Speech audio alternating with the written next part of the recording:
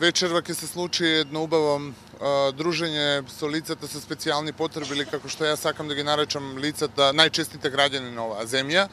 А, јас се приклучив као јавна личност и свесен граѓани на оваа земја кон иницијативата која што е беше наречена 5 до 12, односно на луѓето кои што кампуваа во Жена парк, се приклучив само да им ја дадам својата поддршка.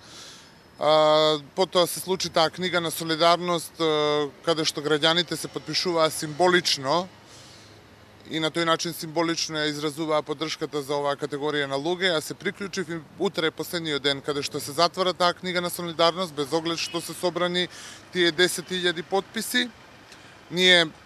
еве сакаме да собереме и многу повеќе подписи да покажеме дека тие лица се дел од нас и ги поддржуваме и нив и нивните семејства и сакаме да им се исполнат нивните барања.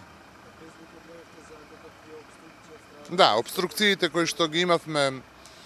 Овај, во периодов се поврзани со, односно не во периодов, туку денеска се поврзани со техниката и со поставката на бината која што требаше да биде на плоштадот Македонија.